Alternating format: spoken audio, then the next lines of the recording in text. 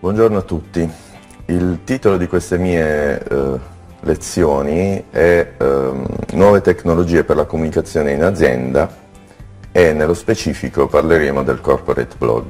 La prima lezione che andiamo ad introdurre è una lezione diciamo introduttiva eh, sull'azienda open, cioè sull'azienda aperta. L'azienda aperta è eh, una tipologia di azienda che ha preso molto piede ultimamente, è una metodologia di innovazione aziendale che fa della comunicazione il proprio cavallo di battaglia.